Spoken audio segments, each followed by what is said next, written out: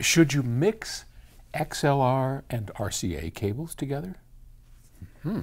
Well, this question comes from Michael in Stevens Point, Wisconsin.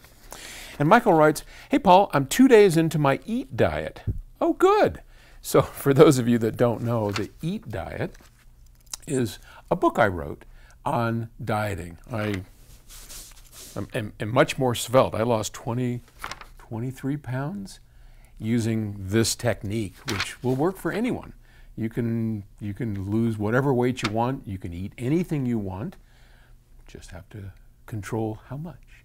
And uh, it's called the EAT diet. And it, it, it works. It truly works. So anyway, you can buy it on, on Amazon, the EAT diet.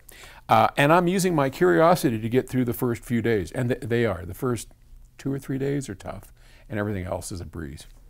Um, so I thought uh, now might be a good time to ask some questions. You got it, sir. Uh, I'm a 48 year old truck driver and hope to build my first ever good two channel stereo system in 2021. Yes! Nicely done. I love it. He's got a goal. He's going to get in there and he's going to get after it. Um, I'm probably going to be mixing old and new equipment. I already have decent tower speakers, a subwoofer, and a nice Sony ES CD player. Uh, it cost me 2,500 bucks about 15 years ago. I'll bet that's a nice one. I'm about to take the plunge into the front end of the system and probably should know this before going further. Does XLR have its benefits reduced or negated if there are RCA cables in the mix? Well, let's let's clear the cruft away and uh, just start with some some basics here. XLR cables on equipment that is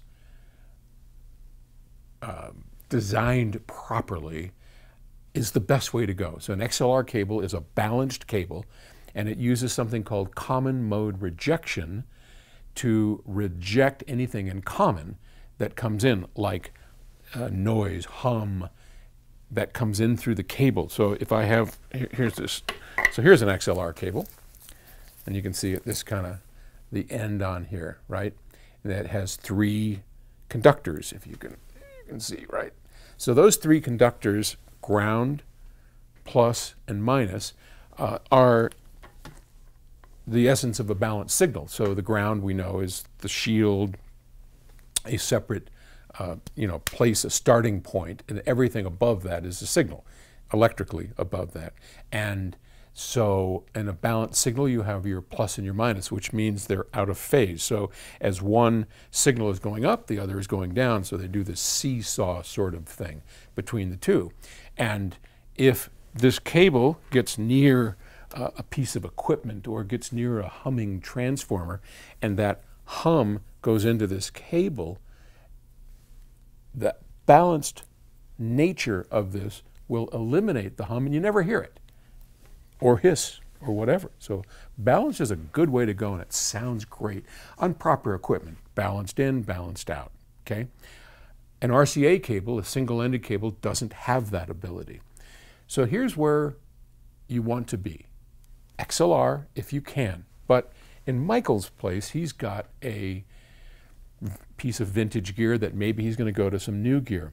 So you certainly don't want to go from a balanced output on this piece of gear to a single-ended input over here because you'll lose all the benefits of it.